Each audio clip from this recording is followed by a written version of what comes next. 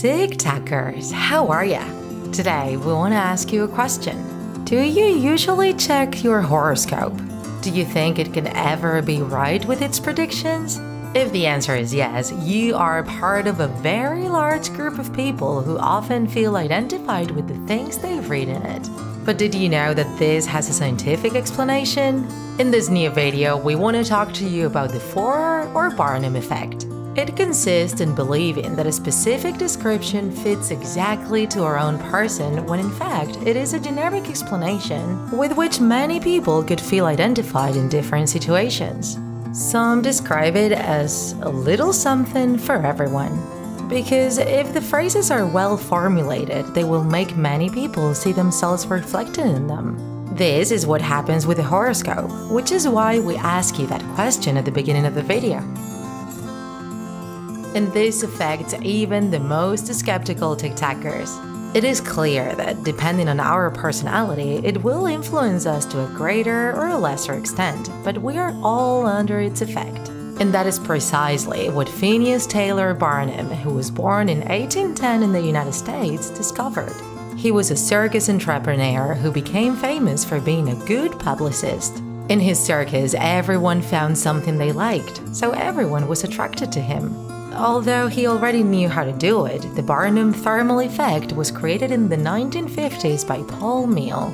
He conducted several investigations in which he discovered that several expressions from psychiatric and psychological reports from a clinic could be associated with almost any patient. They were very generic phrases and were often repeated.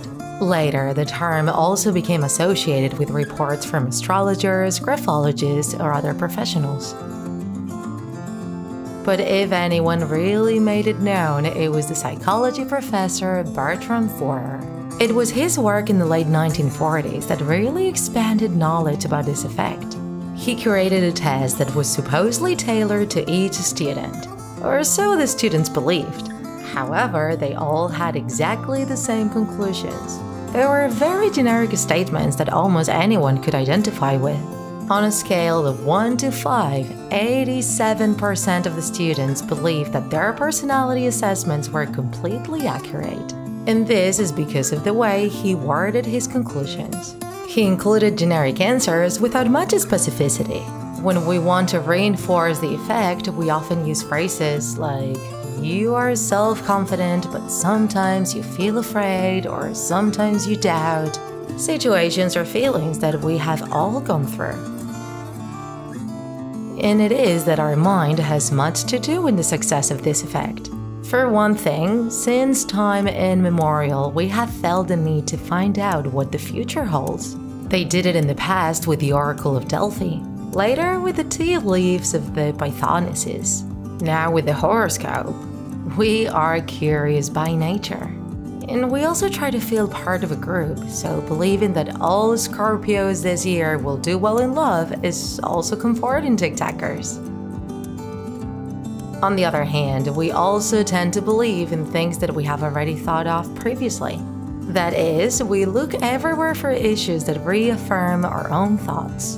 And this, the Barnum effect, gives us in addition to the fact that in most cases, we speak positively and we all like to be told good things.